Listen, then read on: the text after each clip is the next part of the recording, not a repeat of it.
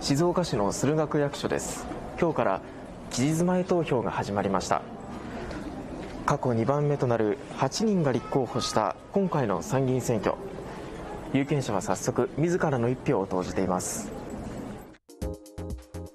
昨日公示された参議院選挙。今日から期日前投票が始まりました。期日前投票は来月9日まで県内では合わせて132の投票所が開設されます。岸田政権への中間評価とも位置づけられ物価高対策や安全保障などが争点となる見通しの参院選。改選2議席の静岡選挙区には届け出順にご覧の8人が立候補しています。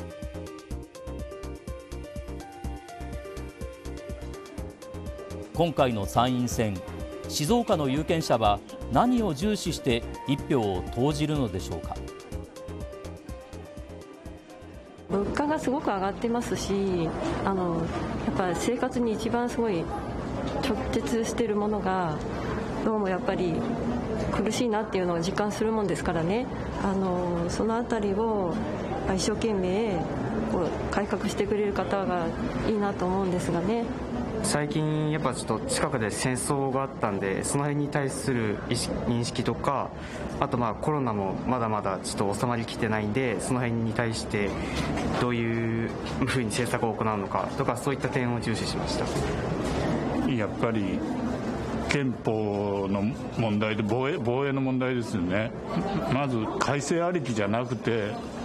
まあ、どこを改正するんだという元からの問題ですね、請求にやることはどうかなと思ってます。やっぱり子育てしているのであの妊娠、出産、子育て世帯へ、まあ、どれだけあの政策いい政策をあのやってくれてるかっていうところこれからも安心して子育てができるかっていうところ。参院選は来月10日投開票です